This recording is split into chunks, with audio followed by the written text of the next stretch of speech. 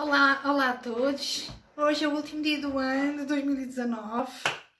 Muita coisa aconteceu neste, neste ano que está quase a acabar. Eu venho desejar a todos vocês um ótimo 2020.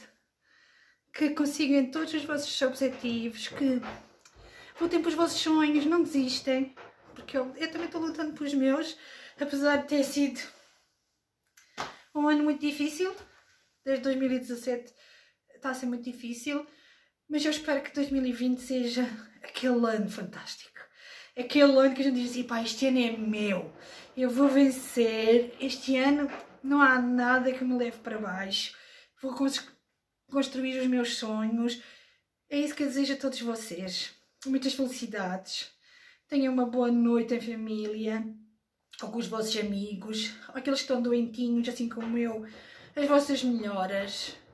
Desejo tudo, tudo, tudo bom a vocês. Um beijo enorme. Agora eu vou começar a fazer os nossos, os nossos petiscos para a nossa ceia ano novo. Os nossos docinhos.